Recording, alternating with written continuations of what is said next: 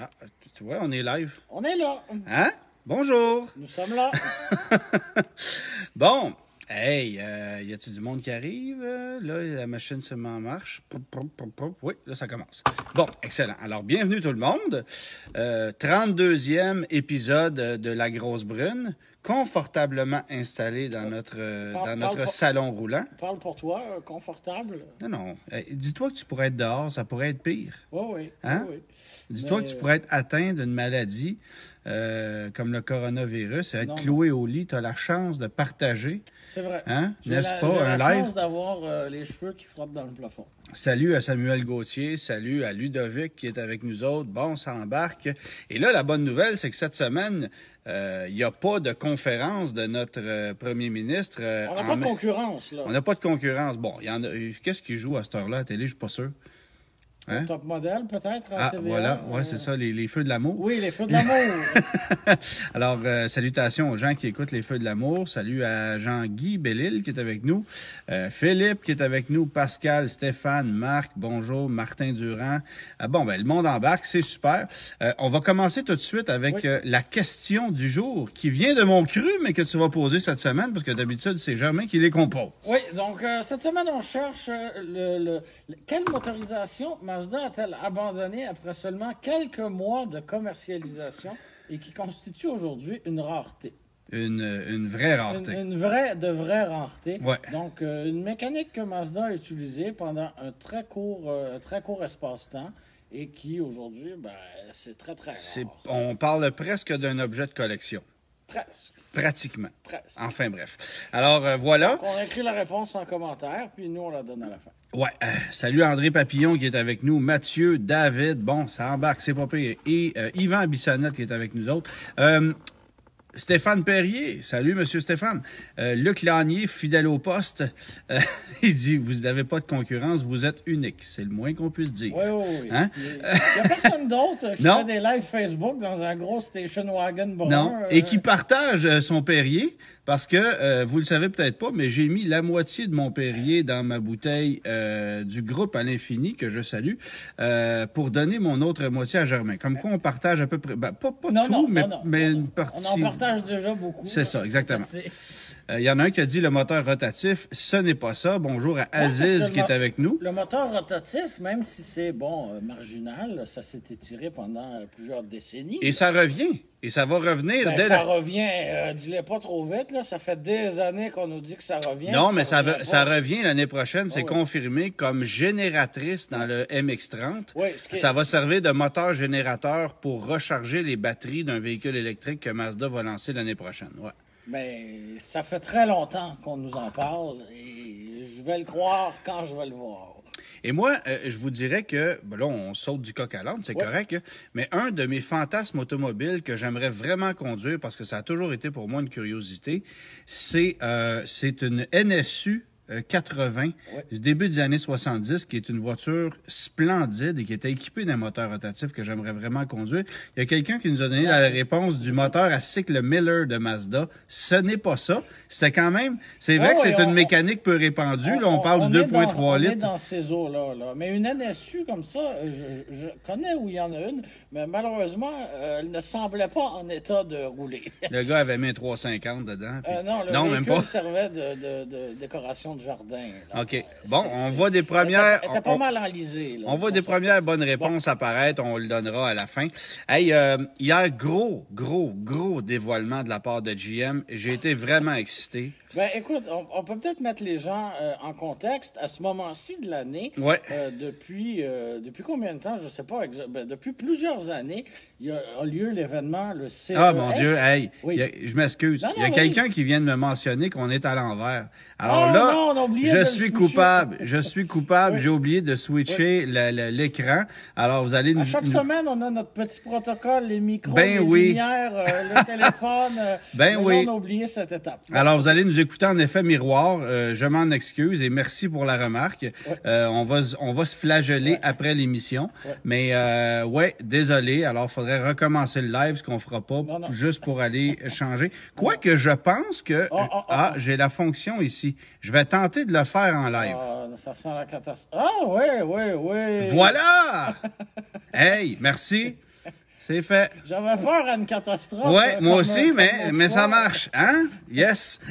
Bon, on va t'a- on va t'appeler Geek Squad euh, maintenant. Exactement. Bon. euh, Donc, on parlait du, du- Oui, c'est ça. Donc, à chaque année, euh, début janvier, euh, a lieu l'événement euh, CES, le salon CES. exact. À Las Vegas, c'était juste avant. Là, j'ajuste ça un petit peu parce que bon, OK, c'est bon. Bon, le- du, Ouais. du fine-tuning, Voilà. euh, comme on appelle. Donc, euh, le salon CES à Las Vegas, c'était juste avant le salon de l'auto euh, de Détroit. Et ben, avec les années, comme les- les- l'automobile est devenu de plus en plus un objet technologique, ben, la part euh, occupée par la par l'automobile à ce salon-là, qui- Ouais. ce salon-là où on dévoilait, y a- y a- pendant, pendant des années, des, des- des- des systèmes de son, des VHS, le DVD, le- ce, ce- ce genre de technologie-là. Mais, euh, Mais là, on dépasse largement le cadre. Et Merci à Mathieu, à Franco pour les étoiles, bien apprécié. Absolument, on dépasse absolument. largement le cadre de. de- Mercedes avait dévoilé, si je ne me trompe pas, sa classe A euh, à ce salon-là. Ouais. Euh, donc, des, des- des véhicules entiers, pas juste des technologies qui, qui- qui se trouvent à bord d'elle. Ben, en fait, on avait dévoilé la classe A, mais pour dévoiler le système MBUX, Effectivement. qui est la nouvelle génération d'écran. Bonjour à Mélanie Guimont, à Jocelyn Lamotte qui est avec nous autres. retrouve dans les véhicules Mercedes de, de nouvelle génération. Mais bref, toujours est-il que ça se passe chaque année, début Ouais. janvier. Là, cette année, ben, évidemment, il n'y a pas de salon physique. Tout se passe de manière virtuelle. Euh, c'est passé un peu plus sous le radar que d'habitude. Quoique Mais- mon ami euh, Mathieu Roy de Salut Oui, oui, Bonjour, lui, a couvert l'événement, s'est amusé, m'a envoyé des liens. Il y a plein de trucs qui ont été dévoilés, notamment la voiture de Sony. Euh, on a confirmé qu'il y a des essais qui avaient été faits de la voiture. elle roule euh, bel et bien. Et, euh, et honnêtement, ça semble très sérieux. Là, j'ai pas toutes les spécifications en tête, mais euh, Véhicule électrique, hein, wow. ça va sans dire. Et euh, on l'avait vu auparavant, mais là, de l'avoir roulé, bon, c'est un petit peu plus concret. ouais. Et, euh, et, euh, mais Sony euh, continue d'avancer l'idée qu'ils ne veulent pas s'investir dans l'automobile, ne veulent pas devenir un constructeur automobile. Donc j'ai Ils l'impression ont peut-être que... compris qu'il n'était pas un constructeur automobile. Il y a d'autres constructeurs qui l'ont pas compris. Bon, Mais, mais j'ai l'impression qu'ils veulent tendre au bout de leurs bras une belle vitrine, un bel objet qu'un constructeur automobile pourrait racheter par la suite. Là, ça serait, ça serait une, une- une- une possibilité assez, assez probable. Ouais, ouais. Mais toujours est-il que, que, que, que GM nous a dit cette année au CES, surveillez ça de près. On a de la grosse gomme pour vous. Et là, ben, moi, je- je- j'ai fait euh, tu sais, 1 plus 1 égale 2. J'ai dit, ça y est, enfin, hein, on nous en parle depuis assez longtemps. C'est le Bolt VUS hein, qu'on va nous dévoiler. euh, la grosse nouvelle, non, non, non, non. Eh ben non, euh, c'est pas c'est pas ça du tout. Ben, dans un premier temps, on, a- on nous a dévoilé un fourgon de livraison euh, euh, électrique. Bon, ben, honnêtement, pour vrai, c'est correct, là, mais tu sais, de voir. en plus, c'était une photo faite à l'ordinateur, là. On n'a Ouais. pas vu le véhicule du tout. Il n'y a aucune photo de l'intérieur. Il n'y a rien, là. On, nous dit 400 km d'autonomie, là. ben, tout est- ce qu'on souhaite, là, c'est que la planche de base soit plus moderne que celle du Savannah. Ouais, je pense pas que ce soit possible de faire moins moderne. Euh, ouais, tu pourrais ramener un radio cassette ou un 8 track. Mais, Mais, euh, oui. mais toujours, c'est ça. Donc, la- j'ai- et on a créé une nouvelle marque. On nous pour, euh, mentionne ici que y a- ça a été un festival, le GM et Kia, qui a dévoilé des nouveaux logos. Ah, ben oui, Euh, le nouveau logo ça, on de a vu GM ça qui a aussi, ouais. énormément, énormément fait jaser sur Internet. On l'a mis en minuscule, en fait. On l'a mis en minuscule, on l'a mis en bleu pâle. Ouais. Et euh, bon, peut-être pour les gens peut-être un peu plus euh, geeks qui nous écoutent, et euh, s- sur la page Facebook de GM, donc la page Facebook Ouais. de GM International, on a changé la photo de profil et euh, la photo qu'on a euh, téléversée est floue comme c'est pas possible. Ouais. Donc, Là, il y a euh, une question, euh, euh, j'ai vu rapidement passer, il y a une question, euh, on nous demande qu'est-ce qu'on pense du Nissan Aria. Ah, on va y revenir un peu plus tard parce qu'on va parler du Ford Mustang Mach-E et la Tesla Model Y. Puis il y a un paquet de véhicules euh, en compétition qui arrivent avec ces, ces véhicules-là, dont le Nissan, dont Volkswagen Avec qui va arriver avec l'ID4. l'ID4. Fait qu'on va y revenir un peu plus tard. Est-ce que l'ID4, on va l'appeler l'ID4 au Québec? ID4, Ouais, je le sais pas. ID4? J'ai sais aucune pas. idée. Parce que euh, normalement, on, Faut fran- juste, faut on juste, francise les noms ici. on francise les noms, mais il y a des fois où c'est mal fait. Tu sais, on dit pas un Nissan Rogue. Ben oui. Il y a des trucs, là. euh, Mais euh, quand on. Un Chrysler New Yorker. Ok, bon, on, on- s'écarte, mais quand Ouais. on va traduire un trim aussi, donc une Toyota Avalon limitée au lieu de limited, Ouais. c'est- douteux. Donc, exactement. euh, une, une Cadillac CT5 Luxe au lieu d'une Luxury, tu sais, parce que euh, on fait Oh, c'est ça. C'est- C'est c'est un peu douteux. C'est un peu On douteux. est rendu où avec ça? Euh, donc, on parlait de GM qui a changé son logo, de- du fourgon électrique euh, qui, qui, qui- qu'on a dévoilé. Mais surtout du volant. Oui, on a dévoilé le volant du, euh, du- de, de la Bolt VUS. Où on a appris, en fait, ouais, que qu'on le véhicule. Le, le système de, de, de Super conduite Cruise. semi-autonome Super Cruise qu'on retrouve chez Cadillac. Euh, on on- on l'avait dans la CT6. Il y en a qui dit le nouveau logo de GM fait penser à, à Tron en 1980.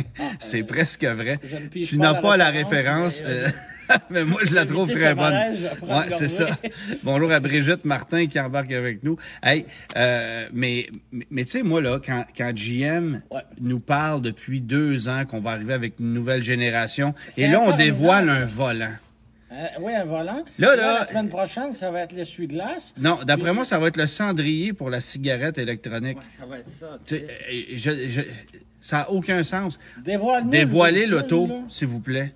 C'est ce que je disais. J'étais avec du Trisac ce midi à la radio, puis euh, on parlait de ça, là, dévoiler des parcelles de voitures, des images floues. On l'a fait euh, récemment avec le Mitsubishi Outlander, un coin de pare-choc. Après ça, une vague silhouette. Ben, ça Grand, finit plus. Grand, Grand Cherokee euh, euh, on avait Ouais. fait la même chose. C'est correct pour vrai d'aller piquer la curiosité des gens, de dire ce modèle-là s'en vient, Ouais. mais là, de, de, de, de- de prendre le temps dans un salon de nous montrer euh, le volant.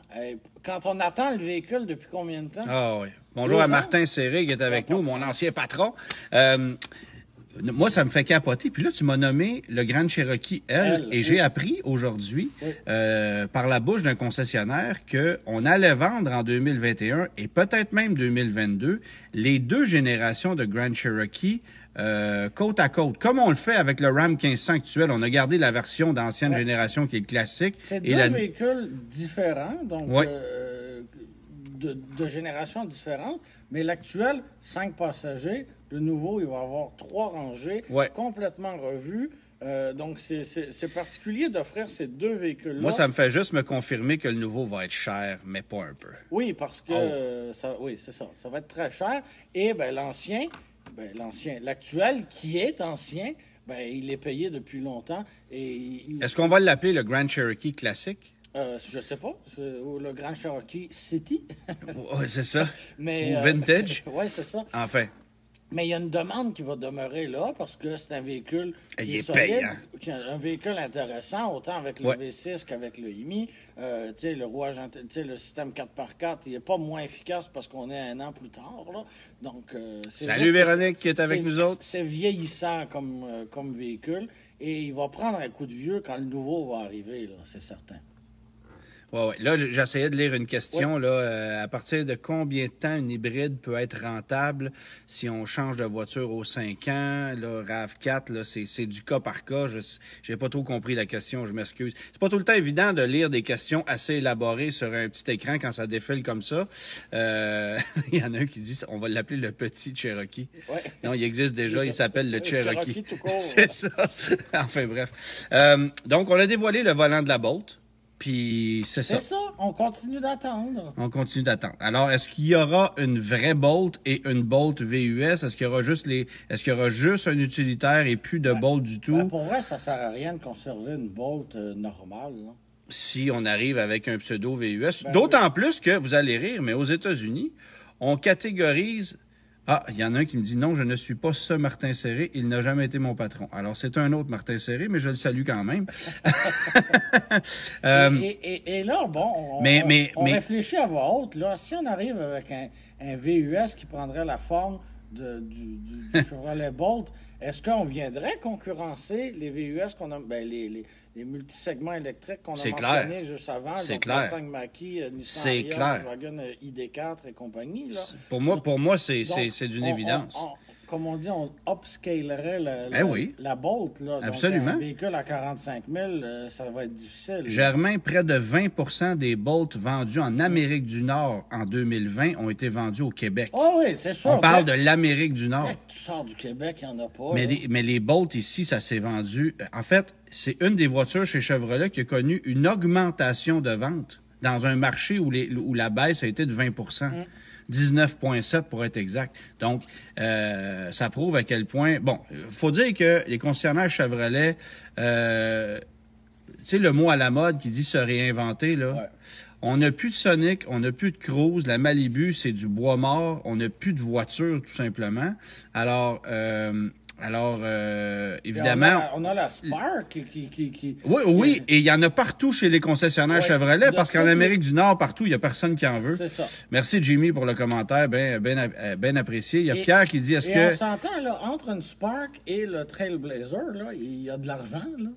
Ben oui, incroyable. C'est fou. Oui, là. parce que le Trax, c'est à toute fin pratique terminé. Ouais, Là. on l'oublie parce que Euh, pas. hein, Il y en a un qui dit particulièrement à Rodden, il y en a beaucoup des Spark Ah, et ben des voilà. Bolt, bien sûr. Euh, mais euh, mais euh, mais c'est ça. Donc, je veux dire, la clientèle qui achetait des des Cruze, qui achetait euh, des Ouais. petites voitures chez Chevrolet, ben l'alternative, ça a été de les asseoir dans bien des cas dans la Chevrolet Bolt. Donc, au Québec, on a réussi à déplacer une petite partie de la clientèle dans cette voiture-là. C'est pas tout le monde qui ont adhéré là. Et mais c'est un véhicule, un rare véhicule électrique qu'on avait en inventaire. Oui, absolument. Un rare véhicule intéressant. Parce que des et pas financé à 19 de taux d'intérêt. Là. Bon, alors ça, c'est un truc intéressant. Mais, mais oui, effectivement, la prochaine Bolt va être plus grosse, plus volumineuse, plus chère. Et, on, et, et ça va être un authentique VUS, alors que là, ce n'est pas un VUS, bien que Chevrolet aux États-Unis la catégorise comme un VUS sur son site web, parce qu'elle est un peu plus haute qu'une petite voiture ou qu'une Cruze. Tu sais, de ça, là. En fait, si tu la stationnes à côté d'un Nissan Kicks, elle est même plus haute qu'un Nissan Kicks. Euh, Ouais, mais le- On parle d'un troc, là. Oui, oui, oui, oui. Et... On grimpe dedans. là. Ouais, ouais, c'est ça. ça pas... Ça me surprend qu'il n'y ait pas des marchepieds là, pour t'aider à monter. Ouais, c'est ça, rétractable. Ouais, ouais, c'est ça. Alors, bienvenue dans le monde des camions. Euh, euh, bon, on va parler des, euh, des gagnants du, du NACTOY, North American Car of the Year. Les gagnants ont été dévoilés cette semaine. Je- Jury, jury dont tu fais partie. euh. Oui, ben je veux nommer aussi euh, Gabriel Gélina, Marc Lachapelle euh, et Denis Duquet, donc tout du monde du guide de l'auto qui, qui fait partie de, de ce de, de, de ce panel-là. Et on est sept au Canada sur une soixantaine de journalistes en Amérique du Nord, dont quatre du guide de l'auto. Fait que c'est quand même pas On pire. est bien représenté. On hein? est bien représenté. Euh, et, euh, et je t'avoue que les choix cette année, d'habitude, euh, Marc Lachapelle et moi, on se jase énormément, puis on devine avec exactitude qui va gagner. Parce que ça devient en quelque sorte prévisible en fonction des choix des, des, des, années dernières ou des orientations qui sont prises, j'imagine. Ben, d'une part, et d'autre tu part, commences à connaître les gens Bon. qui votent. Parce que c'est pas c'est pas 50 Antoine Joubert qui vote. Là. Il y a des gens de milieux différents avec des opinions différentes qui, qui, qui, qui, qui observent des marchés différents. C'est ça. Mais faut faut considérer que quand tu regardes quand tu regardes euh, le panel du jury, Ouais. tu regardes des gens qui demeurent dans la région de Détroit, tu, rega- tu regardes des gens qui demeurent à New York, en Floride, en Californie, euh, dans le Midwest américain, euh, au Canada anglais. Donc Évidemment, la réalité de leur marché est bien différente de la nôtre. Moi, je l'admets, une des voitures que j'avais mis en liste pour être la voiture de l'année, c'est la Polestar 2 pour laquelle à peu près personne n'a voté, parce que dans leur marché respectif, c'est une voiture qui n'a pas de bon sens. Je veux dire, Polestar, pour un gars qui demeure au Texas, on s'entend C'est un dessus, peu absurde. c'est un peu absurde. Mais Et c'est pour le logique. marché du Québec, Voilà. voilà. Mais euh, on a quand même, euh, on avait quand même euh, voté massivement pour le Mustang Mach-E, qui a gagné euh, le prix du, de l'utilitaire de l'année. Euh, et ça, ça m'a quand même étonné qu'un électrique gagne. Je t'avoue que euh, le, le- le sentiment d'appartenance à, à la Mustang a dû y jouer pour beaucoup. Et les Américains doivent euh, s'identifier à ce véhicule-là. Il y en a un qui dit non, pas 50, Antoine, s'il vous plaît. Merci, Jean-Philippe. c'est- mon ami Jean-Philippe Gingras qui me, qui, me, qui me salue comme Je ça. C'est bien, ouais, ouais, il est bien sympathique, sauf qu'il vend des Mazda.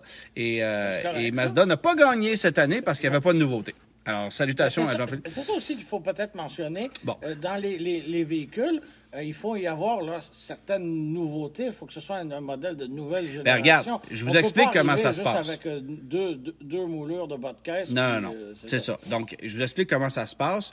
On va lister la grande majorité des voitures qui ont été euh, des voitures VUS, camionnettes, bref, euh, qui sont nouvelles euh, pour l'année en cours, ok? Et, les 60 euh, journalistes vont devoir sélectionner le top 15 de- des véhicules qu'ils considèrent comme étant les plus importants ou les plus significatifs parmi cette liste-là. Donc, cette année, je vous avoue que chez les voitures, ça n'a pas été un exercice bien, bien compliqué parce qu'il y avait juste un peu plus que 15 automobiles, euh, alors que chez les VUS, il y en avait euh, une bonne gang. Alors, on en a éliminé beaucoup euh, pour n'en conserver que 15, alors que chez les voitures, ça s'est fait plus facilement. Et les camionnettes, bon, en fait, les camions, donc tout ce qui s'appelle camion avec un châssis euh, indépendant, ça rentre dans, le, dans, dans la catégorie des C'est camions. une bonne manière Donc- de, de, de, de tracer la ligne. Là. C'est ça. Donc, ce qui est camionnette avec euh, ce qui est camionnette avec châssis indépendant et VUS pleine grandeur sur châssis autonome, c'est catégorisé séparément. Par contre, je ne suis pas certain de comment on catégoriserait, par exemple, un Honda Ridgeline. Ça, c'est une ligne. Parce que c'est une camionnette. C'est une camionnette, mais avec un, châssis, avec, c'est ça. Alors ça, j'ai hâte de voir. Merci euh, pour les étoiles. J'ai hâte de voir comment ça pourrait se catégoriser. Mais le Ridgeline a déjà gagné. À son arrivée en 2006, ça avait été nommé euh, camion, euh, camion de l'année à l'époque. Ouais. Bon, ben, d'ailleurs, c'est le F-150 euh, qui a gagné cette année. Ouais. C'était en, en, en liste, il y avait le Ram 1500 TRX Mm-hmm. et le Gladiator Mojave. Mais euh, les, les, euh, les VUS pleine grandeur de GM se sont classés où là-dedans? Les VUS pleine grandeur de GM, on les avait catégorisés ironiquement chez les VUS. OK, parce Alors, que parce que c'est des VUS. Parce hein? que c'est des VUS, donc on avait un peu changé la stratégie cette année et je t'avoue qu'il faudra que je pose des questions pour comprendre un peu plus parce que l'an dernier, par exemple, ou il y a deux ans, si ma mémoire est bonne, le Lincoln Navigator avait gagné le camion de l'année et c'était un utilitaire. Donc là, il y a eu... Oui, il y, y a des véhicules qui peuvent se chevaucher. C'est ça. Alors, alors, alors, des- tu sais, il y aurait des questions à poser. Mais toujours est-il que on liste ça. Après ça, les points sont cumulés lors d'un exercice de votation et on dévoile le top 3. Alors, le top 3 chez les voitures cette année, ça avait été la Sentra Ouais. de Nissan. Euh, ça, ça a été une surprise, je t'avoue. Euh, la Hyundai Elantra et la Genesis G80. Euh, puis je comprends un peu, mais je t'avoue qu'il y avait bien d'autres voitures convaincantes en liste, là, comme l'Acura TLX, par exemple. Euh, euh, Oui, tu sais, le, le- le G80, sans lui enlever quelconque euh, qualité, c'est un véhicule que 37 personnes vont acheter. Là. Ben ça, c'est vrai au Canada, mais c'est beaucoup moins vrai aux États-Unis, où le marché de la voiture de catégorie intermédiaire de luxe est beaucoup plus grand que chez nous. Donc là-bas, Mais et je comprends de très là bien, à la nommer voiture de l'année, ça aurait été tiré par les cheveux. je te le dis, Germain, cette voiture-là, elle, elle est impressionnante à conduire. Elle- C'est vraiment un produit réussi. Et aux États-Unis, ça va se vendre. Chez nous, c'est un, c'est un véhicule. C'est fini. hein. C'est ça. Je veux dire, on n'en vendra vraiment pas beaucoup, mais aux États-Unis, je suis persuadé que ça va connaître beaucoup de succès. D'autant plus que tout le monde est parti. Acura, Infiniti, Lexus est plus là. Lincoln. Euh, Lincoln est parti. Euh, Volvo a abandonné. Euh, bref, les, les berlines dans ce segment-là, c'est fini. Là. Il, il n'y en a plus. Alors, euh, alors, il reste Genesis et les Allemands. Ouais. Puis Genesis euh, va réussir à aller chercher sa part du gâteau, j'en suis persuadé. Mais euh, et c'est drôle, hein, parce que euh, évidemment, là, il y a un pointage qui est calculé. Et là, euh, c'est l'Elantra qui, euh, qui a été nommée gagnante. Euh, à, à quelques points devant la Genesis G80, qui, elle, était à quelques points devant la Sentra. Donc, c'est serré. Là. donc, dans les voitures, c'était très serré. Chez les, chez les utilitaires... On peut peut-être mentionner, c'est pas la première fois hein, que gagne la voiture de l'année. Parce qu'en 2012, elle l'avait remporté aussi. là. Oui, exactement. Euh, écoute, il y, a, il y a plusieurs voitures qui ont gagné à deux reprises. Ouais. La Le G80. F-150, il a gagné cinq ou six fois. Là. Bon, C'est Euh, ça. Je veux dire, mais moi, je me souviens de la Honda Civic qui a gagné à plusieurs reprises. Euh, en fait, euh, Volvo a gagné plusieurs prix. Euh, bref, il y, a, il y a des véhicules qui sont effectivement revenus. Il y a des marques qui sont revenues. Les Coréens se défendent, je te dirais, relativement bien dans ce concours-là. Mais, mais bref, chez les, chez les utilitaires, le Mach-E est passé loin devant les deux autres. Et là, c'est drôle, mais ma Ben, mémoire... dans les deux autres, il y avait le Land Rover Defender. Ouais, c'est ça, Qui qui est un, était- un produit, franchement, euh, spectaculaire qui était passé un peu sous le radar à son dévoilement, mais quand il est arrivé, tout le monde le regardait avec des grands yeux. Tout Ouais. le monde a eu un peu les genoux qui ont plié en le regardant. Ouais.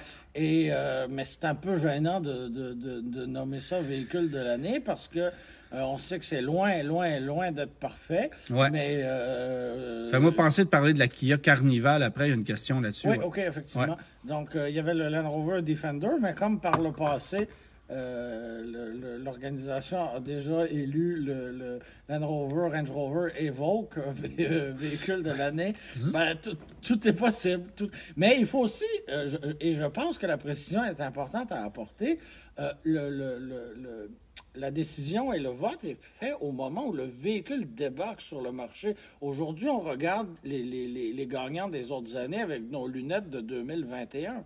Donc, il y a, y y une différence à- il Faut- faut considérer- faut considérer- choix du, du- du passé. là. Il faut considérer plusieurs aspects et, et en particulier l'impact que ce véhicule-là va avoir sur son marché. Tu sais, on rit bien gros aujourd'hui parce que la JAC avait nommé la Néon voiture de l'année au moment euh, et en 95 et en 95 ce qui- la voiture de l'année du, de, de- du NACTOY c'était la Chrysler Cirrus. Donc Cirrus et Néon avaient été nommés voiture Mais de l'année.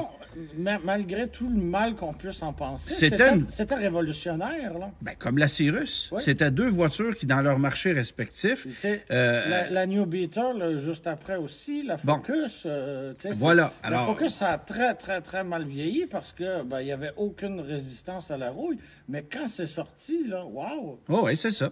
Mais je veux dire, c'est des véhicules qui ont, qui, qui à, à l'époque, ont, ont été significatifs pour leur marché et ont brassé les. euh, T'as-tu un problème de- d'ajustement? engourdi, ça va très mal. Bon, alors Germain qui brasse la grosse brune de même. Eh boy, il maltraite mon char. Euh, euh, ouais, il y en a un qui rit, Néon et Cyrus, oui. Puis on a déjà nommé l'Intrépide ou la Concorde, Chrysler de l'année, bref, enfin. Euh, alors, c'est un peu comme ça que ça marche. Donc, euh, les trois finalistes sont dévoilés. Après ça, nous, on revote pour les trois finalistes et les gagnants. Donc, cette année, Hyundai Elantra, Ford F-150 et euh, Mustang Mach-E. Donc, un doublé pour, euh, pour Ford cette année.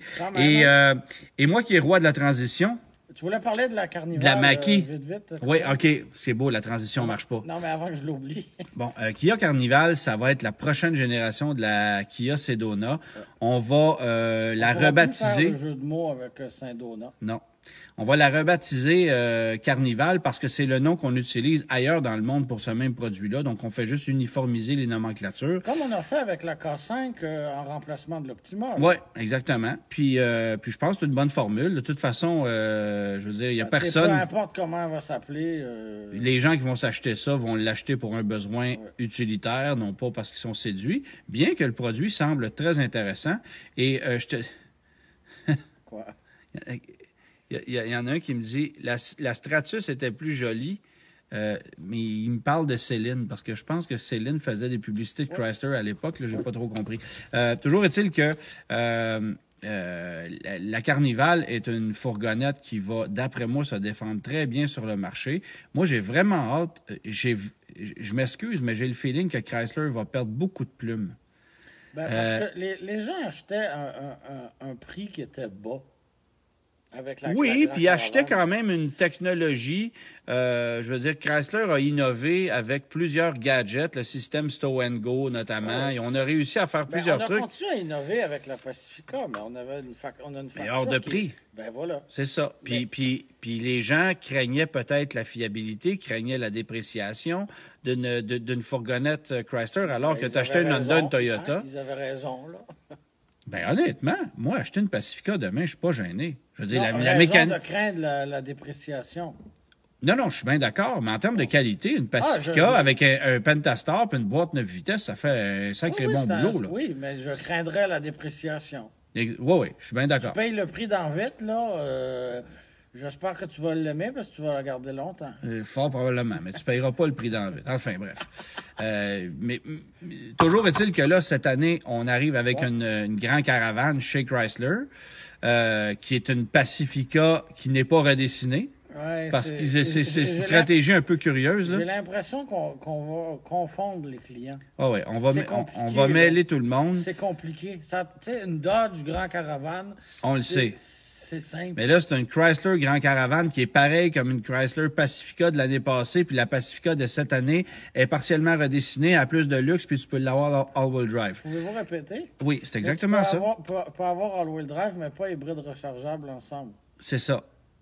Puis, puis chez Toyota, ben là, tu as une, t'as une hybride. l'hybride, mais euh, tu peux avoir deux roues ou quatre Ou roues. quatre mais roues. Tu peux combiner Bon. hybride et quatre roues, mais tu peux pas avoir de re- d'hybride rechargeable. Et je ne sais pas, pour la Carnival, si on va avoir le rouage intégral. Est-ce que ça, j'ose croire qu'on va l'ajouter parce que ça serait quand même nécessaire. Ouais, je suis pas certain, honnêtement. Hi- Histoire de bien faire, bien, bien faire vieillir l'Odyssée qui, qui, qui- qui perd des plumes. Tout le monde s'est modernisé. Oui, oui, c'est ça. Bon, ben, c'est correct. Je veux dire, ils ont juste à se réveiller, qu'est-ce que tu veux? Ouais, ouais. Mais bon, alors, comme si le marché de la fourgonnette était celui le plus, qui était le plus flamboyant en ce moment, je pas penserais pas.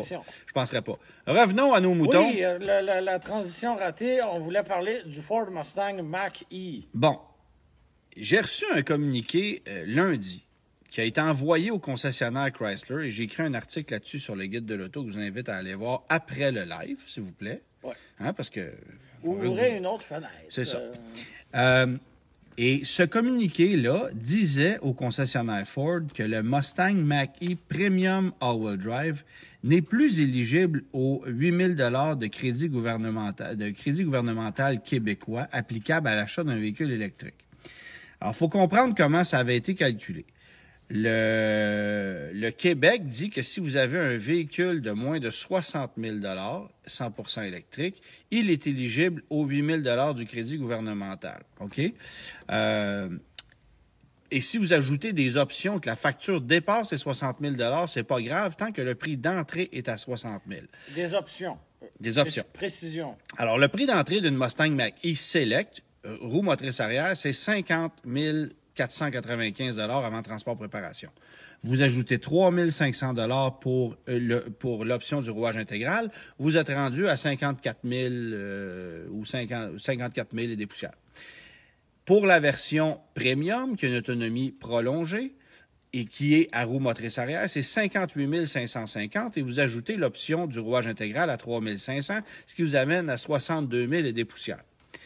Mais Ford avait décidé de, de, de, de, faire du rouage intégral une option, si bien que la version Select était éligible. Et si vous alliez sur le site euh, de, de rouler électrique euh, euh, Avec la du, gouvernement, avec la liste de tous les véhicules, il est bel et bien indiqué que les Ford Mustang Mach-E Select et Premium sont éligibles au crédit gouvernemental de 8 000 Mais, mais là, on, c'est le gouvernement, c'est le ministère de, de, de- c'est le ministère de, j'oublie tout le temps le nom, ressources naturelles? ministère des Énergies et des Ressources naturelles du Québec, merci, qui euh, a envoyé un mémo euh, à Ford pour dire que la version, il y avait une nuance à apporter, que la version Premium All-Wheel Drive n'était pas éligible, Donc, on a enlevé le drapeau et on a dit... puisque euh, son prix dépasse les 60 000 et qu'on considère là-bas que le rouage intégral n'est pas une option, mais forme un modèle en soi. Il y a une nuance, puis il y a une zone grise. Donc, par option, on va entendre là, un groupe électrique ou un toit Un toit ouvrant. Un des groupe trucs. électrique, c'est plus une option, tout Non, le monde là. tu là. comprends ce que Ouais, je veux ouais, dire. c'est ça. aïe, aïe. Euh, bon, alors on vient d'apprendre, euh, dernière heure, que Ouais. André Boisclair est accusé d'agression sexuelle encore une fois. Salutations, André Boisclair. Pas sûr Parce que je vois le fil de nouvelles passer en même temps? Pas sûr nous. Non, euh, non, c'est pas sûr, moi non plus. Je pense qu'il y a d'autres chats à fouetter. Ah, c'est mal. Non, c'est pas confortable, hein, ça? Et euh, poursuivons! Non, c'est. Ah, en le disant, j'ai fait gars. Bon, Ouais. euh, on brouille, on continue. Fait que là, fa- donc, Mais- fait, fait que là, les concessionnaires Ford sont pas contents. Mais si on replace euh, tout ça dans l'ordre, vendredi, que s'est-il passé aussi? Ça, c'est génial. Alors, vendredi, jour où le mémo a été envoyé au concessionnaire, Tesla dévoilait l'arrivée d'un nouveau modèle Y à roue motrice arrière avec autonomie réduite à 393 km, vendu à 53 000 et des poussières, ce qui fait que ce véhicule-là est éligible au crédit gouvernemental. OK? Euh, donc, évidemment, euh, Tesla a dû téléphoner euh, au, au- au ministère afin de faire euh, approuver son véhicule comme étant éligible aux crédits gouvernementaux. Et on peut deviner ou on peut en déduire que euh, lorsqu'on a téléphoné là-bas, on a dû dire Hey, comment se fait-il que le Mustang Mach-E est éligible aux crédits gouvernementaux, la version all-wheel drive, alors que la mienne ne l'est pas? Tesla vendant son véhicule 69 990 comme un véhicule séparé. Et, et, et moi, si j'avais été les gens de Tesla, ben j'aurais j'aurais flagué le problème en disant moi j'arrive avec une version à roue motrice arrière qui est éligible, Ford a sa version à roue motrice arrière qui est éligible, mais quand vous passez aux quatre roues motrices dans la version premium, elle ne devrait pas être éligible puisque moi mon modèle, même si je le vends un peu plus cher, n'est pas éligible non plus. Son véhicule chez Ford franchit la barre des 60 000. Autrement dit, les gens de chez Tesla ont téléphoné au ministère. Le ministère a flagué la patente. Ce que je retiens dans cette histoire-là, c'est qu'il y a quelqu'un chez Tesla qui a téléphoné. Donc, il y a une ligne téléphonique chez Tesla. Oui. Parce que quand on essaie d'appeler, ça marche pas. Mais il y a une ligne externe qui fonctionne. Non, mais attention, ce qui est intéressant, c'est que moi, j'ai pris la peine de téléphoner au ministère en ne m'attendant à rien du tout. OK? En me disant, bon, tu appelles au gouvernement, tu vas tomber sur un fonctionnaire, ça donnera absolument rien. Mais j'ai été surpris parce qu'on m'a rappelé et la personne au bout du fil. Rempli de préjugés, Antoine. Mais la personne au bout du fil était allumée, elle a été franche avec moi et sans et sans me confirmer mes, mes, mes pensées, ben quand j'ai évoqué, hein, j'ai pu lire un peu entre les lignes, c'est-à-dire que quand j'ai évoqué, le, quand j'ai mentionné Tesla comme étant l'élément déclencheur de cette situation-là, euh, est un peu parti à rire au téléphone en me disant, vous comprendrez que je peux pas confirmer vos intuitions. Mais euh, Enfin, bref. Mais vous avez du flair, monsieur. Bon, euh, ben, on n'a même pas dit ça. Là. Vraiment, on a été, tu sais, on est, mais euh, mais euh, selon selon le ministère, ce qui est intéressant, c'est que le, le, le maquis n'aurait jamais été éligible au On crédit. aurait pris ça pour acquis, là. On aurait pris là. ça pour acquis chez Ford. Pourtant, quand tu vas sur le site, ça dit que les versions premium et select sont tous les deux sont, sont toutes les deux éligibles, sans mention ou sans nuance quant à la quant au rouage intégral. Fait que ça Donc, porte tout le vraiment monde a cons- un peu sa part de tort. tout le monde a un peu sa part de tort tant que tu voudras, sauf que l'affaire c'est que Là, on a accumulé des précommandes dans les concessionnaires Ben, pour attends. euh, des premium all-wheel drive, là. Ben écoute, euh, moi c'est génial parce que le mémo que j'ai reçu euh, stipule que non seulement la très grande majorité des Mustang Mach-E commentés par les concessionnaires du Québec sont des premium all-wheel drive, euh, si et, et c'est un mémo de concessionnaire qui dit si vous avez passé récemment des commandes de premium all-wheel drive, annulez-les maintenant. Contactez vos clients. Non, non, non. Et moi, les gens au gouvernement m'ont dit cette décision est définitive et sans appel. Donc, on ne reviendra plus- pas sur la pas décision. Puis moi, je, puis, puis moi, je suis persuadé que ce qui va arriver en bout de ligne, c'est que même si les gens de Ford se plaignent ou essayent de se battre ou, ou- ou- ou- ou- bref, euh, commentent ce- ce- ce- cette situation-là, euh, ils n'auront pas ga- gain de cause. Et ce qu'ils vont devoir faire pour que le véhicule soit éligible au crédit, c'est de baisser le prix qui est de 62 000 et des poussières à 59 Mais là, 999. soudainement, le véhicule devient pas mal moins rentable, là. Ben, le véhicule devient moins rentable. Et qui gagne là-dedans? C'est Tesla. Voilà. Parce que Tesla euh, a, a remporté une manche en disant Moi, mon véhicule, je le vends 53 000. Il n'y a pas de problème. Je, je, je- je veux dire, euh, euh, c'est ça le prix d'entrée. Je Puis, puis, puis, soyez pas dupes, là. On a développé cette version-là pour le marché québécois. Ben oui. Parce que c'est pas dur à faire, là. Chez Tesla, c'est une beauté de la chose de chez Tesla. Un peu de programmation, merci. T'enlèves le moteur en avant. On a déjà la plateforme, on l'utilise pour la modèle 3. Clic-clac, merci, bonsoir, c'est réglé. C'est pas compliqué. Et on vend des véhicules fini, ici comme c'est pas possible. là. Et- et Alors, cette histoire-là me rappelle un peu celle du, de, de, de l'Escape hybride rechargeable qui, qui vivait une injustice par rapport, euh, par rapport au RAV4 Prime. Euh, cela Ouais. dit, il n'est jamais, jamais arrivé, là, euh, l'Escape hybride non, rechargeable. c'est vrai que ça fait deux fois que Ford sont pris dans un Ils contexte. Ils se font dame et le pion, comme on dit. Oui, oui, oui, parce que euh, en fait, euh, la batterie de Ouais, ouais. la batterie du Escape hybride était de 14,4 kWh et il, fa- il fallait que ce soit en haut de 15, 16, 15 ou 16 kWh On était pas loin, là. on était vraiment pas loin, on était ça à ligne. On disait à la blague, rajoute un paquet de Duracell dans le coffre à gants, puis on l'a, là. C'est ça. Puis, euh, puis Toyota étant à 18,4, on passait. Donc, le véhicule est éligible à 13 000 au lieu de 8 000. Euh, garde, ça fait une grosse différence. Fait que concurrence déloyale pour une autonomie qui est à peu près la même, ça dit en passant. Là.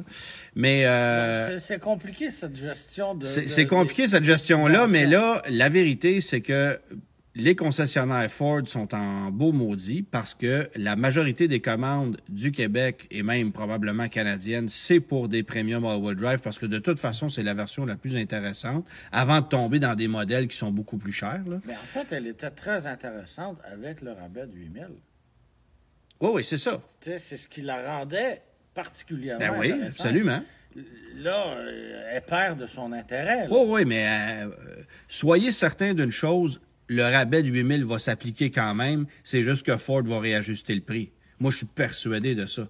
Parce que tu peux pas jouer avec les stratégies à ce point-là, puis je veux dire, les véhicules sont déjà commandés. Tu peux pas demander à la chaîne de montage Ouais, euh, qui fabrique des véhicules. rouge Non, non, ça n'a pas de bon sens. Fait que- fait qu'on va devoir baisser les prix. Tu sais, euh, qu'est-ce qu'on va faire? Est-ce qu'on va baisser la facture puis grimper le taux d'intérêt de 2% puis ça va revenir au même?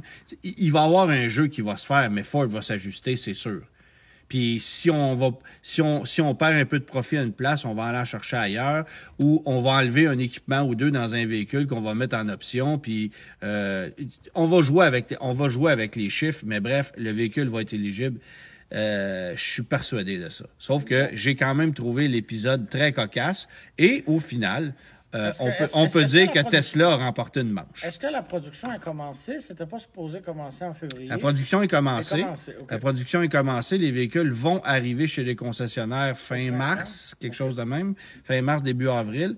Euh, Il y a beaucoup de gens qui l'ont commandé. Puis, euh, puis ceux qui, d'ailleurs, ceux qui veulent en avoir, euh, la, li- la liste d'attente est longue. Là, peut-être qu'il y en a qui vont se décommander. C'est ça, il y a peut-être Ben, quelques joueurs qui vont se retirer. Je là. pense que je pense que moi j'attendrai quelques jours avant de voir quelle sera la stratégie de Ford ou la réponse de Ford à cette situation-là. C'est sûr qu'on va en entendre parler très bientôt. Mais c'est drôle, Ford s'est pas trop trop vanté du fait que le véhicule était plus éligible soudainement. Non, on n'a pas envoyé de communiqué, puis on n'a pas loué de panneau sur le bord de l'autoroute pour l'annoncer. Non. Et, euh, et aussi drôle que ça puisse paraître, ce matin encore, quand elle est sur le site du gouvernement, le véhicule est encore éligible. Donc, qui aura gain de cause? a pesé sur F5. C'est ça. Bon, euh, RAM classique. Ouais, j'ai j'ai conduit ça cette semaine et je me permets de remercier. Tu as fait euh, un retour dans le passé. Oui, voilà. Je me permets de remercier le concessionnaire Saint-Hyacinthe Chrysler qui a bien voulu me prêter le véhicule parce que FCA euh, n'a pas mis à notre disposition de RAM classique depuis son arrivée sur le marché en 2019. On considère que c'est un véhicule qui n'est qui pas un joueur veut- important. On veut On pas le mettre en lumière. On veut pas en parler. euh, il est là, mais c'est tout. Euh, Sauf que à chaque année, on n'est pas, on n'est pas capable de nous dire s'il revient l'année d'après. euh, Voilà. C'est très flou. Mais j'ai parlé à trois concessionnaires Chrysler. Les trois m'ont dit la même chose. Le RAM classique, c'est 50% des ventes. De RAM 1500. De, ra- de, de ra- de la marque RAM. Oui. OK? Donc, ça inclut les HD, ça inclut les fourgons. Tu sais, les deux, trois fourgons qu'on vend dans C'est ce l'année. que j'allais Bon. dire, ça peut être pas beaucoup. Ouais, mais ils sont quand même là. Alors, c'est un véhicule super important. Il faut savoir que la- le, le- le RAM classique n'est pas bâti à la même usine que le RAM, le, le- le- voyons, je cherche le nom de code. DT. Le DT, là, donc la nouvelle génération. Euh, et moi, j'ai un peu l'impression que les gens de Chrysler avaient anticipé des ventes supérieures pour le RAM de nouvelle génération. Mais en même temps, il est tellement payant à vendre l'ancien que pourquoi on s'en débarrasserait? C'est un, peu, c'est un peu comme le Grand Cherokee, tu veux dire. Et, et- oui, c'est une bonne offre euh, financièrement parlant, mais on le donne pas non plus, là. Le, le- Non, le- mais surtout ces temps-ci, il y a une demande on n'a pas de là, stock. voilà. On n'a pas de stock, on n'a pas d'inventaire, c'est difficile à avoir. Alors moi, la version que j'ai essayée cette semaine, c'est une Warlock euh, 4 portes, moteur MI, euh, PDSF à 67 000 parce qu'il est fardé d'options, 15 000 de rabais là-dessus du constructeur, donc ça revient à 52 000.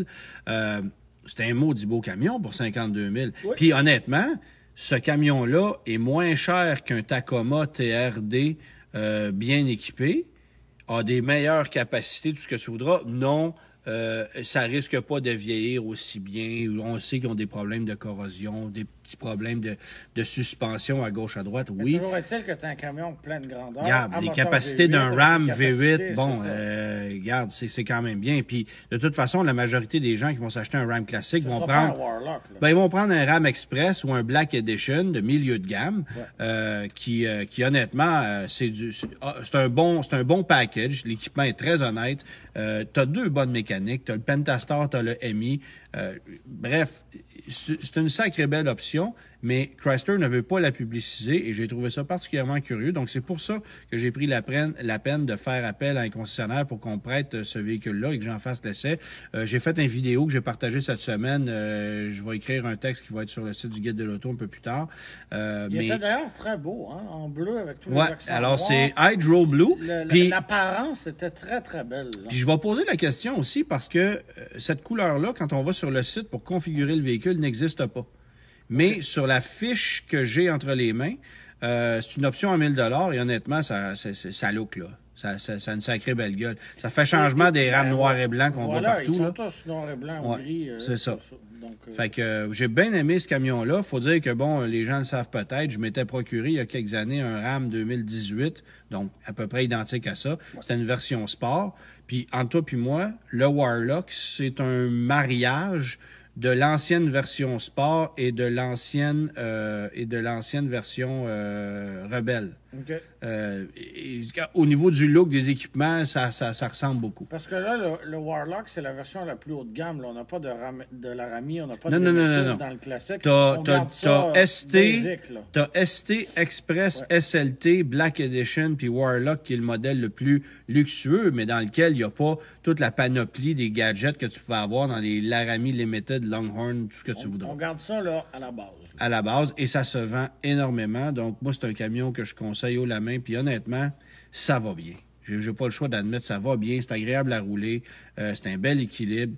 Mais euh, c'est sûr que côté consommation, ben garde, c'est un bon 15 litres au 100 en hiver, euh, allège euh, dans le contexte actuel, puis vous allez baisser à 13,5 au 100 l'été, mais ça sera pas économique. Puis vous allez payer des taxes à la cylindrée sur vos plaques à chaque année. triste, ça. Payer l'essence, c'est une chose, mais payer les, les- la surprime pour les matriculations, ça fait mal. Ben oui, mais il faut bien payer le salaire du fonctionnaire à qui on a parlé là, Ah, pour l'histoire de la maquille. Tu sais, c'est comme ça. C'est comme ça que ça marche. Ça, ça marche. Euh, brochure de la semaine, mon, mon Germain. Là, Vo- Volkswagen GTI 1985, une brochure toute mince, toute petite, mais La une voici. voiture tellement attachante. Et là, euh, c'est pas l'époque où il y a des VR6, des trucs comme Non, ça. Il y avait une mécanique, 1.8, 100 chevaux. Merci, un- un- bonsoir. Un creux de vague euh, qu'on pourrait, qu'on pourrait appeler. Mais une Et, voiture euh, vraiment, vraiment. Et notre collègue Tripante. et, et- et patron, Frédéric, en avait importé une, hein, on se rappelle, Ouais. qu'il avait acheté sur le site Bring a Trailer. Elle était très similaire à celle qu'on voit sur la couverture, Voilà. L'intérieur est magnifique aussi. en, en- en- en rouge comme ça. Donc, très belle voiture, mais effectivement, c'est pas une bombe. Et ça Mais- coûtait cher à l'époque. Quand c'est arrivé sur le marché, c'était épouvantable comment on Est-ce qu'il y a vendait des ça photos cher. de l'intérieur? Que- Ben, très sommaire, là. c'est une brochure assez minimaliste, je t'a- je t'a- je t'avouerais. Il y avait, il y avait pas beaucoup de choix de couleurs. C'était rouge, euh, Noir ou blanc? rouge, noir ou blanc. Et euh, donc, 5 vitesses manuelles à rapport court. Ouais. Euh, 100 chevaux de puissance au lieu de 90 dans la Rabbit. On a travaillé un peu. Mais euh, c'était pas une voiture très lourde. Je sais pas si on, est- si on indique le poids ici. Ce que je cherche, ça n'a pas de l'air d'être le cas. Euh, et, et, et je me souviens pas, mais à, à cette époque-là, Volkswagen indiquait toujours le 0,80 km/h et non pas le 0,100. Est-ce que c'est encore le cas? Écoute, il n'y a pas beaucoup d'informations sur cette Ouais, brochure-là, honnêtement. C'était un petit dépliant. C'était un petit euh, dépliant, mais... euh, Mais mais c'est- c'était bien d'avoir Ouais. créé un document à part pour le GTI et non pas là, une Et- demi-page dans, dans, dans celle de la Rabbit. Donc euh, voilà. Donc, c'est une voiture qui est quand même assez euh, tripante, mais pas évident à trouver aujourd'hui, surtout originale. là. Ouais. Puis, puis les, les GTI 85, 6, 7, jusqu'à ce qu'on arrive avec les 16 valves, on dirait qu'ils ont été un peu oubliés. Là, l'aura est autour de la Rabbit GTI. euh, c'est la folie, ces voitures-là. Il y en a un qui dit une autre époque où on voit des dames sexy. Ça se peut. Euh, on parle-tu de la GTI? J'ai peut-être mal compris. Ça se peut. Euh, merci pour les étoiles à Guillaume, bien apprécié. Euh, mais mais c'est vrai que la GTI, c'était une sacrée belle voiture à, à conduire. C'est amusant, c'est bien suspendu, c'est équilibré, mais c'était pas une bombe particulièrement. C'était surtout le plaisir de conduire à des vitesses raisonnables. Et une survivante, ben, c'est très rare. Ouais, il y en a, y en a vraiment pas beaucoup. Il y en a vraiment pas beaucoup. Tu, tu- de la semaine. ben oui, vas-y donc. On a euh, Sébastien qui se demande. Sais-tu qu'avant tout, avant, là, on n'a pas parlé du Nissan Aria du tout, hein? Pas en tout. Hey, Vas-y. ce véhicule-là, j'ai vraiment hâte de voir ce que ça va donner parce que euh, je pense que c'est la prochaine étape de Nissan dans l'électrification. Actuellement, la Leaf commence à tirer de la patte, je t'avoue. On avait, on avait étiré son autonomie, ce qui lui a donné, à Ouais. mon avis, un second souffle. Mais euh, effectivement, d'arriver avec autre chose qu'une petite voiture, ça peut être intéressant à l'échelle nord-américaine. Oh, oui, c'est ça. Puis, puis ce véhicule-là est bien ciblé. Bon, au côté design, c'est assez générique. C'est un neuf, comme, comme le Volkswagen ID4. Ah ouais. Euh, ça n'a C'est rien difficile d'excitant. de trouver ça beau.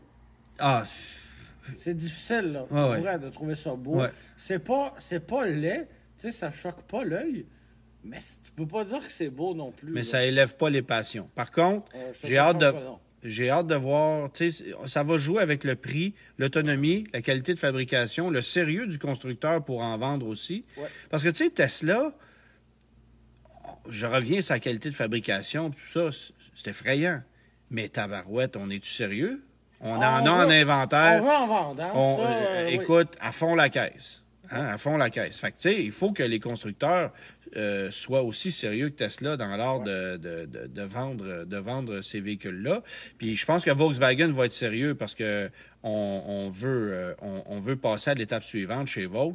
Peut-être faire oublier aussi l'époque du, de- des moteurs TDI, mais Je pense que c'est déjà oublié pour ben du ben oui, mais c'est parce qu'en même temps, euh, il y a d'autres choses à faire oublier chez Vaux. Le fait que toutes les voitures disparaissent, là, Ouais. ça, c'est choquant un peu. Merci pour les étoiles, bien apprécié.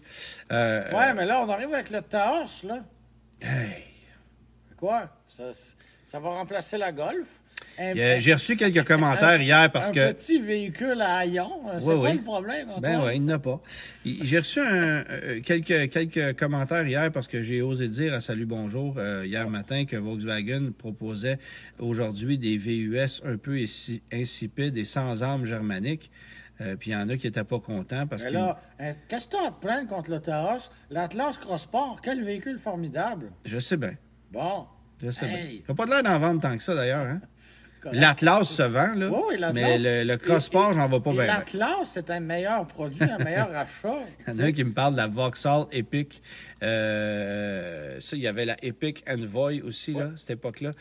Euh, Tu sais que mon, mon grand-père avait eu ça à l'époque. Ouais, Lui même. qui roulait des Chevrolet et des Pontiac euh, était passé à une euh, Ah, Epi- ouais. Envoy Epic l'espace de six ou sept mois. C'était épique, hein? Euh, ouais, ça n'a pas duré longtemps. Et mon père me contait qu'il était six dans cette voiture-là avec le collet. Ah, quand même. Hein? Quand même. Alors, je peux te dire que quand, quand on a remplacé la, la, la Envoy Epic par un Pontiac Strato Chief, on était heureux. Oui. un, peu plus, un peu plus d'espace. Ouais, exactement. Euh, donc, euh, Aria, ben, j'ai bien hâte de voir ce que ça va donner. Même chose pour l'ID4. Soit dit en passant, on commence à en voir un peu rouler au Québec des véhicules, des. Des pré-productions, C'est ça, là, au- exactement. Au, bureau chef, on les voit passer, des, des- on voit passer les photos sur Internet. Ouais. Donc, euh, c'est un début. C'est un début. Mais ça va arriver. euh, ça sera pas très, très long. Merci à David pour les étoiles. Euh, donc, question, vas-y donc. Oui, on a Sébastien qui se demande euh, si on sait euh, si Ram a l'intention de revenir avec un pick-up plus petit que le 1500 euh, qu'on Bon. connaît. C'est intéressant parce que c'est clair que les. Bon, on a vu passer des rumeurs cette semaine à l'effet que Ford allait arriver avec une nouvelle camionnette intermédiaire Oh, ouais, pour remplacer le Ranger. Euh, bon, Bon. euh, la machine à rumeur est partie. La machine à rumeur est partie, mais elle est tellement logique. Ben oui. Parce que le Ranger, on s'est ajusté. Autrement dit, on a amené le Ranger parce qu'il fallait le faire, parce qu'on voulait réagir au succès du Colorado Canyon, alors que GM avait ramené le produit. Et on avait le produit qu'on vendait ailleurs dans le monde. On l'a, on l'a, on l'a endimanché pour le marché nord-américain, mais on s'est vite rendu compte que ça répondait pas aux besoins de tout le monde. hein. D'abord parce qu'on n'a pas de longueur de caisse de disponible, euh, parce qu'on est limité dans les motorisations qu'on peut proposer. nanana. Donc le Ranger, pour le moment, ça fait une bonne job. D'ailleurs, les ventes ont été en hausse cette année Ouais. euh, par rapport à l'année passée, mais c'est pas suffisant. Et ça prend vraiment quelque chose pour, pour rentrer dans les dents de la compétition. Et je suis persuadé que Ford travaille là-dessus et qu'on va arriver effectivement avec le Maverick éventuellement. Ram, ça va être la même chose. C'est tellement payant vendre des pick-up en Amérique Ouais. du Nord. Et, Euh, et là, justement, ben, on en parlait tantôt, le classique. Euh, occupe le, le- le créneau des, des, des pick-up moins chers, mais c'est pas tout le monde qui veut un monstre gros de même non plus. Non, puis tu sais, je veux dire, on va probablement mettre beaucoup d'énergie là-dedans. On a aussi le Jeep Gladiator, qui est une camionnette en quelque sorte, Mais, mais... qui est cher, tu sais. C'est ça.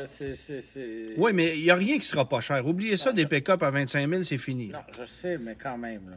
Très tu cher, me parles souvent de ton père qui a acheté un Ranger à 12 000 en, Ben quatre- oui. en- Tu veux qu'il achète quoi aujourd'hui? Un F-150 à 50 000, à 60 000? Non, c'est ça. Mais en même temps, un Ranger, c'est minimaliste. Il n'y a rien là-dedans. là. Oui, mais ça tire 5 000 livres, puis... Ben, le camion que tu peux te procurer le moins cher, en fait, c'est plus vrai depuis un an, là, mais c'était la camionnette Frontier à 24 000 Ouais.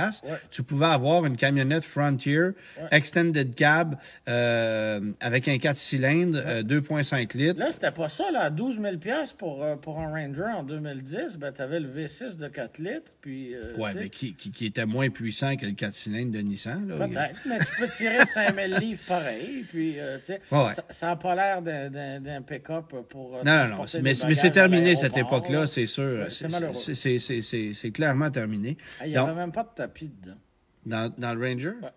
Ben non, c'est une option. c'est ça. Tu vois, j'en ai dans ma grosse brune pour ton confort. Il pas de Arrête de rire, c'est vrai, j'ai pris l'option pour te faire plaisir. Des vitres à crinque. euh, Ouais, j'ai ça stock. climatisé. euh, ouais, voilà. Ça marche.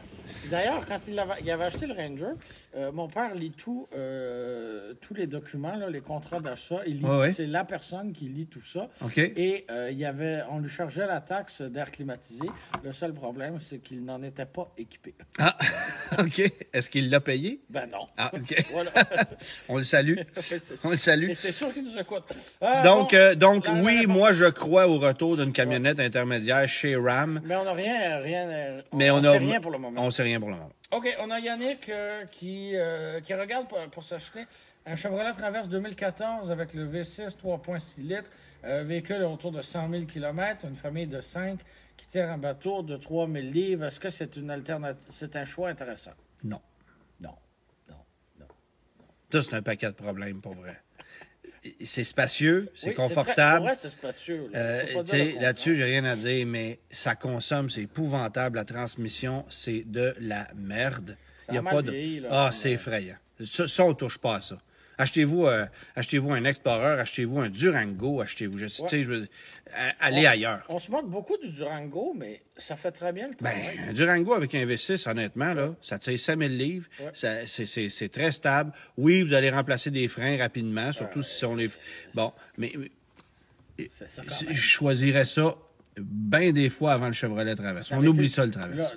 on, on parle avec notre cœur, mais c'est un véhicule qui est un peu plus, euh, un peu plus inspirant qu'un Traverse en plus. Là. Oui, oui. Non, non, non. le- On oublie ça. OK, on a Catherine, euh, question pour toi. Euh, moi et mon chum, on s'obstine sur un sujet. On aime ça, les gens qui s'obstinent. Est-ce qu'un Nissan Qashqai SV peut traîner une petite tente roulotte? Euh, Est-ce que mon chum a raison quand il me dit que même la plus petite des tentes roulottes ne peut être traînée avec mon Qashqai? Question intéressante. Il y a juste Pierre qui dit Oui. est-ce qu'on pourrait avoir le pick-up Peugeot qui est vendu en Europe Et- euh, suite à Stellantis? Peut-être, mais euh, ça serait l'erreur de, de- de reproduire ce que Ford a fait avec le Ranger. Moi, je pense pas que c'est un véhicule qui est adapté aux besoins des Nord-Américains. Ça prend quelque chose de plus gros, plus costaud que ça. Ouais. Honnêtement, là. Puis. Et on attend toujours un pick-up de, de la part de Hyundai aussi. Hein, Oui, qui créneau-là. est. qui- le, Ça fait 10 ans qu'on le Santa. Cruz qui devrait Ouais, arriver l'année prochaine, on sait devait pas trop. arriver il y a 4 ans. Ouais, ouais, c'est ça. On sait pas. Euh, c'est une bonne Donc, euh, question. euh, Qashqai SV, est-ce qu'on peut tirer une petite tente roulotte, oui ou non? Bon, ben, comme pour d'autres véhicules chez Nissan, on ne recommande pas le remorquage, mais il y a plusieurs organismes qui disent que le véhicule peut tirer 454 kilos ou 1000 livres. Et sais-tu ce qui est drôle? Quoi? Euh, Je sens que ça va être en. Europe, parce que ce véhicule-là, Ouais, ouais, c'est- non, mais en Europe, moi, je, m'en sou- je me souviens de ça parce que j'avais assisté, euh, le- la première fois que j'ai conduit un Qashqai, c'était en Angleterre, parce que les premiers Qashqai nous étant destinés étaient construits en Angleterre. On a rapidement modifié la chose, là. Mais, euh, pas très rentable. bon, mais, euh, mais j'étais allé conduire en Angleterre le Qashqai, et là-bas, on disait qu'avec le moteur 2 litres qui nous était destiné, on pouvait remorquer 1200 kilos. Mais les standards de remorquage En sont Europe- très différents. Tu, tu- tu vois plein de photos, de vidéos euh, en Ouais. Europe et tu as des, des, des autos compactes, des sous-compacts qui tirent euh, beaucoup plus. Ben, en fait, ici, ils ne peuvent rien tirer, mais là-bas, tu les vois tirer des remorques, des roulottes, il n'y a pas de problème. Moi, je veux juste dire une chose. Si vous achetez un véhicule comme celui-là, autrement dit, ce que- les constructeurs automobiles vont mettre comme capacité de remorquage, je ne parle pas des pick-up pleine grandeur où là, on va, on va, on va étirer ça au maximum, là. mais on est très, euh, on est très conservateur dans ce qu'un véhicule est capable de faire. Si vous avez un petit véhicule de 125 ou 150 chevaux, puis que vous accrochez une tente roulotte de 800 livres en arrière ou 1000 livres ou 1200 livres, le véhicule va le faire. C'est juste qu'il faut adapter un peu sa conduite. Oui, et Les le freins sont Et de le tirer 7 jours par semaine, c'est pas fait pour ça. c'est pas fait pour ça. Mais- Puis l'autre affaire, c'est qu'une CVT, euh, si tu as fait travailler trop ardemment, ça peut surchauffer. Donc, euh, Ça peut créer des, des, des- des frictions si on traverse euh, la Gaspésie avec euh, un cache-caille qui tire une grosse tente roulotte. bon, Et, tu sais, d'avoir un- un refroidisseur d'huile auxiliaire pour la transmission, si vous travaillez beaucoup avec le véhicule, ça peut être une bonne option aussi. Mais toujours est-il que, oui, c'est capable de remorquer. Est-ce que le constructeur va honorer une garantie? Par contre, si vous avez un bris mécanique, elle est, il est, là- il est peut-être là le problème. Donc, si vous installez un, un gros attache-remorque sur un Nissan Qashqai, non, non, non, j'ai jamais remorqué, c'est pas crédible. c'est ça. Alors, c'est surtout ça le problème. C'est que oui, le véhicule va être capable de remorquer des petites charges, mais si vous installez un attache-remorque sur le véhicule et que vous avez un bris de transmission, on va vous poser des questions et on pourrait ne pas honorer la garantie. Et considérant Ouais, que Nissan et les CVT, on en a des problèmes, ben, je suis pas sûr. Tu sais, je me garderais une petite gêne. Ouais, c'est- pas tout noir, c'est pas tout blanc. C'est c'est ça. Mais le véhicule est-il capable de le faire? Oui. Oui, Est-ce que c'est souhaitable? C'est ça. Le non-verbal parle. Voilà. Hey, euh, réponse à la Oui. question? C'était le, le- le moteur diesel. Le Sky Active D. Donc, Oui. il y a quelques personnes qui avaient eu la euh, bonne réponse. ouais. Moteur 2.2 litres diesel qu'on avait mis sous le capot du CX5 en Écoute, 2019. On l'a annoncé. Ouais. Il était supposé arriver en 2014. C'est finalement arrivé en 2019 que sur la version signature en option pour 5000 dollars de plus. Les codes de consommation étaient similaires à celles du moteur 2.5 atmosphérique. On en a vendu quelques dizaines au pays et on a tiré la plug? Euh, non seulement je l'ai conduit, mais j'ai assisté au dévoilement de ce véhicule-là en Ontario et j'ai conduit depuis Toronto jusqu'à Montréal avec ce véhicule-là pour constater que la cote de consommation était carrément égale à celle d'un 4 cylindres atmosphérique pour 5000 dollars de plus. Euh, et évidemment, coût du diesel, des fois c'est plus élevé, des fois c'est un peu plus bas, mais il faut, faut considérer que les- le coût d'entretien est drôlement plus élevé. Le liquide duré, il faut que tu ajoutes ça, etc. Alors qu'en 2.5 Mazda ordinaire, euh, c'est pas trop. C'était- brûlé d'avance. C'est- On oubliait ça carrément. Donc, on a vite abandonné. On a dépensé des fortunes pour homologuer ce moteur-là. Parce que quand on a eu l'idée, il faut se souvenir que c'était avant le scandale TDI. Ben, c'est ça. Et, Et là, quand le scandale est arrivé... eu la même idée avec le Sorento. Hein? Oui, j'ai même conduit un Sorento diesel, moi. Ah, donc ça existait. Ben oui, ça, ça existait en Europe on avait euh, on avait l'intention de l'amener chez nous. Hey, j'ai conduit euh, ça sur l'autobahn. Ça, faut que je te compte ça. Un, Sorento diesel sur l'autobahn. Tu sais, quand tu es sur l'autobahn puis que tu vois des BM M5 puis tu, ça peux, tu peux rouler, il n'y en a pas de problème. Puis c'est génial. un Sorento diesel. 165 km heure. Hein, hein, hein, hein. Puis tu te fais dépasser de même. Hey, c'est frustrant. Tu sais, tu te dis, pour une fois, je suis sur l'autobahn, ben là, regarde, Ben j'ai la pire patente pour conduire. C'est arrivé. Mais, euh, mais euh, ça allait bien. J'ai pas le choix d'admettre que ça allait pas bien, sauf que, regarde, on a... On a on- L'Amé- L'Amérique du Nord a dit non au c'est ça. Alors, ça a été la même chose pour Mazda. Puis je me demande encore pourquoi on a amené, on a continué à mettre des efforts pour, Ah, pour l'amener ici. euh, OK, on arrête ça. Ben, je pense que c'était, c'était, on aurait dû le faire bien avant ça. Puis tu sais, on n'était pas convaincants. Écoute, au lancement, c'était génial parce que on avait amené des véhicules concurrents. Euh, je me rappelle. Un Jaguar F-Pace diesel avec un 4 cylindres diesel de 180 chevaux et un GMC terrain avec le moteur diesel dont on avait annoncé l'abandon deux jours avant le lancement. Moi, je, je- c'était savoureux, là. C'était, c'était, c'était brûlé. Mais enfin bref, si vous avez un CX5 diesel aujourd'hui, c'est certainement un véhicule très rare. Voilà. Et, euh, et si vous en voyez un, ben, achetez-vous un 649. Sur ce, ben, ça, ce fut un plaisir et à la semaine prochaine. Bon souper. Hein, voilà, exactement. Bye bon tout le monde. couvre-feu. Bye bye.